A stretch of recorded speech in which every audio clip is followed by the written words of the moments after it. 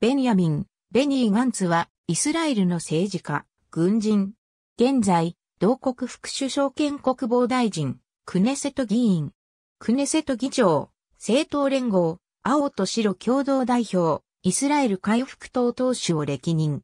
兵役制度により1977年にイスラエル国防軍に入隊し、志願して空挺旅団に配属された。入隊した年にはイスラエルを訪問したエジプトのアンワル・サダト大統領の警護任務などに就いた。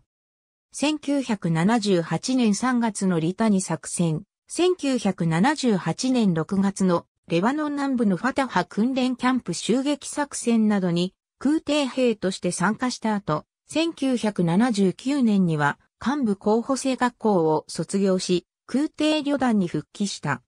空挺兵部隊の小隊長、中隊長を務めた後、アメリカ陸軍の特殊部隊訓練コースを修了し、1982年の第一次レバノン戦争にも実戦参加した。レバノン戦争の後、1987年にガンツは第35空挺旅団令下の第890空挺大隊の大隊長となり、レバノン南部での治安維持や対ゲリラ作戦に従事した。1989年にはイスラエル空軍の特殊作戦部隊シャルダグの指揮官となり、1991年のソロモン作戦では現地エチオピアのアディスアベバ入りして部隊を指揮し、1万4000人のエチオピア人、ユダヤ教徒をイスラエルに退避させる作戦を成功させた。1992年には予備役空挺旅団の旅団長、1994年にはユダヤ地域旅団長、1995年には古巣である第35空挺旅団の旅団長の任に就いた。1998年には北部軍の第90予備役師団師団長となり、1999年にはレバノン連絡ユニット指揮官、2000年にはユダヤサマリア師団長を歴任した。2002年には北部軍司令官、2005年にはイスラエル地上軍総司令官の職に就いた。2007年からアメリカ合衆国駐在部官を務めた後、2009年にイスラエル国防軍副参謀長となった。2011年から4年間イスラエル国防軍参謀総長を務めた。ガンツの参謀総長就任は当初有力視されていたものの、前任のガビ、アシュケナジと同じく北部軍司令官を務めた経緯からバランスを取る意味で南部軍司令官を務めたヨアフ・ガラント副参謀総長がその後浮上。しかしながらガラントに土地取引疑惑が浮上し最終的にガンツの昇格が実現した。2019年9月17日に投票された総選挙では、ガンツ率いる中道野党連合、青と白の獲得議席数ベンヤミン・ネタニヤフ首相、率いる右派与党、リクードに肉薄。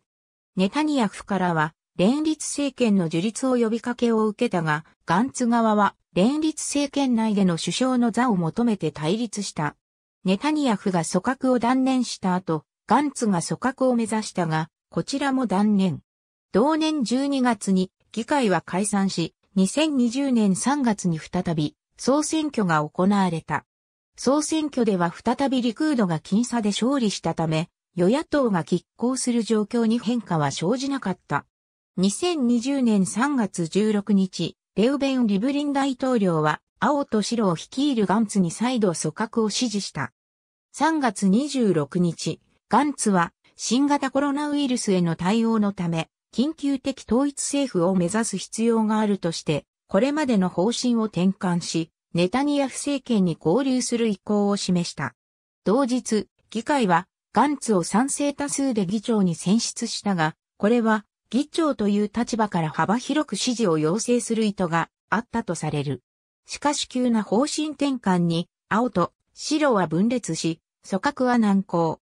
4月13日の組閣期限が迫る中、ガンツはルブリン大統領に組閣期限の延長を要請するが、12日にルブリンはこれを拒否し、首相候補選出は再び議会に委託された。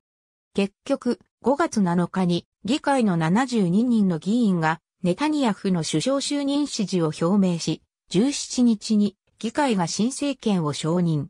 ネタニヤフを首相、ガンツを副首相兼国防大臣とする、挙国一致内閣が発足した。ネタニヤフが2021年11月頃まで首相を1年半務めた後、ガンツが1年半首相を務めることとなった。しかしネタニヤフに汚職疑惑が持ち上がったこともあって、両者の対立は深まり、12月23日の期限内に予算が成立しなかったため議会はまたも解散、連立政権は崩壊した。ありがとうございます。